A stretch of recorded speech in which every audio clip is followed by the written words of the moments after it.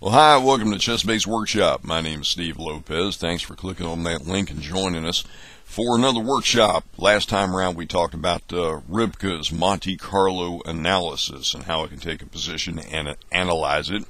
This is the precursor to Monte Carlo analysis. As we saw last time around, what Monte Carlo analysis does is have Rybka play a whole bunch of games against itself from a given position and give you a statistical breakdown of white's wins, black wins, draws, and then make a tree out of the results of uh, or out of the moves that were played in all of those games. This is the precursor to that. This is from uh, from Fritz going way back. And it's called the shootout. And by the way, in response to the emails and message board posts and everything else, how do you get Fritz to play a game against itself? This is how you do it. The feature is called Shootout. It's actually one of my favorite Fritz features, has been for a long time. We're going to look at the same position we looked at last week from that Frank Marshall book where it says, and black should win after um, 12 rook d6. As you see right here, the highlighted move, rook d6. Marshall's comment was black should win.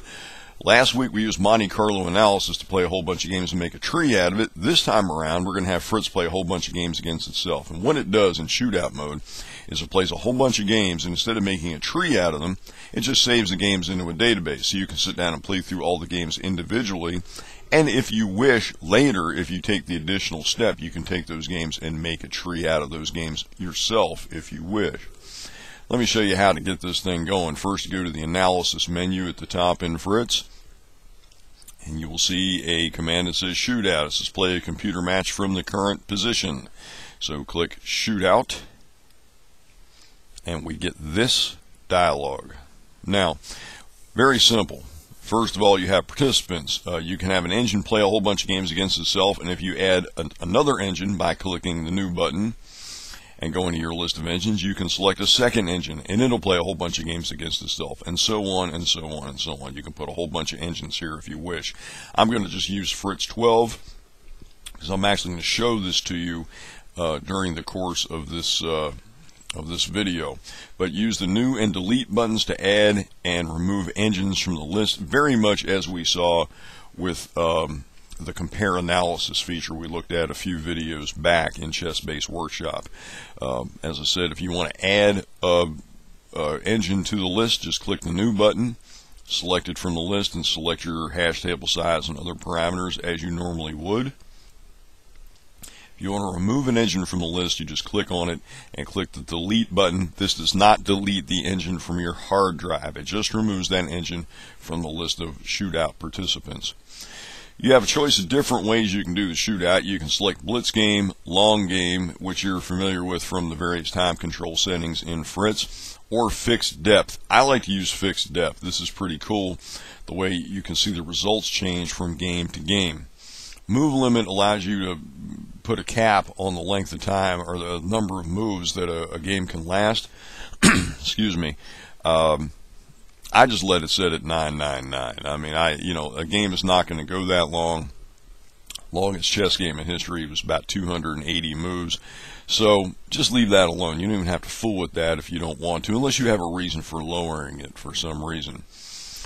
Here's if you're going to use fixed depth, here's where you set your controls for that. Um, you can set the first game will be played at a depth of 3 using the controls which are the defaults here. It'll uh, each the engine will search to a three ply search depth. That's that's move and a half ahead before it makes a move. Then it'll switch sides to to black, and it will do a three ply search depth. Make a move, then it'll switch sides to white, etc. It's just going to play against itself. The first game will be at a depth of three plies. The last game will be at a depth of nine plies. Here's an important toggle. Skip even plies. We've talked about this before and I've written about it at length and, and very simply, chess engines are sometimes tactically blind at even ply search depths. For example, at a depth of let's say 4, um, let's say it's white's turn to move. White moves, black moves, white moves, black moves, and if black on that fourth ply makes a move that contains a very serious threat, a mating threat, whatever, White may very well overlook it and go ahead and play that initial move that it was looking at, which may lead into a forced four ply uh, uh, sequence of moves in which black will then have uh, a, an unavoidable mate or an uh, unavoidable tactical threat. That's what I mean by tactically blind. It's best to use odd number of plies when you have a chess engine play against itself. So I keep that checked. However, if you uncheck it, now look here, if we, we set the depth to 3 to 9, it means there are going to be four games played. The first game, the engine will play against itself at a 3 ply search depth, then 5, then 7, then 9. For four games, if you uncheck that, it becomes 7 games, 3 through 9. But I recommend that you check skip even plies. That way you won't have that weird tactical blindness uh, thing that mars so many computer versus computer games at even ply search depths. So what's going to happen with these settings, with fixed depth and depth of 3 through 9, Fritz is going to play four games against itself. The first game it'll move after it's done a 3 ply search depth. In the second game it'll move each time after a 5 ply depth, then a 7, then a 9, and this doesn't take very long at all. And we'll show you what happens here. Uh, you click OK, and it's going to start playing games from that initial position. We'll move this out of the way a little bit, and you can see it flying through. It's already done the three ply game, now it's doing the five ply game. Now we're up to the seven ply game.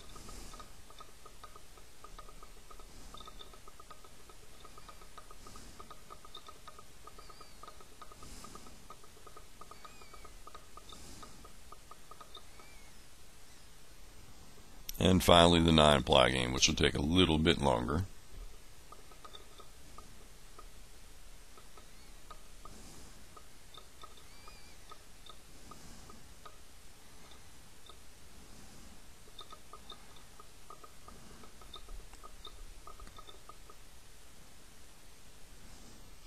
Just that quick, it's done. And we get a final result here, by the way, in this technical messages box. Um, basically there have been there's a white win, a black win, and two draws, so they split 50-50. Again, casting doubt on Marshall's assertion that this may be a uh, a one or a, a, winning game for black after that uh, that that 12 move sequence that we looked at. If we click close, we can actually play through the games if we wish. Uh, another thing that we might want to do. And notice here, you've got a whole bunch of moves that are not annotated by Fritz. This was our initial position. With each move, you get the uh, the search depth, which will always be a 9 for all, all the moves in this game, as well as an evaluation of each move. Who's winning, who's losing. Uh, of course, remember the positive numbers are uh, advantage to white, negative numbers are an advantage to black. If we hit F12, go to the database, the game list, we will see that we have our four games here, our four shootout games, our Fritz 12 three ply game, then a five ply, seven ply, nine ply.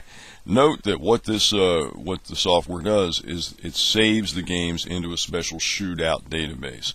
Um, you'll when you installed the software, you were asked for a default folder for your databases and your books and that stuff. And the shootout database is in that folder, whatever you set up as the, as the default folder for this to be stored in. In fact, if you look at the, the bar here at the top, it says shootout.cbh. There are 14 games in it. I've just added four uh, based on Frank Marshall's Gioco Piano. Go back here.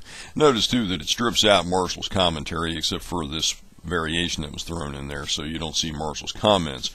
But you do get uh, statistical information for each move, an evaluation, the depth, the amount of time that the software spent looking at the move. And the reason for that is because if you decide to activate the evaluation profile, that separate pane, um, let me see if I can pull that up here, evaluation profile, it generates an evaluation profile for each game.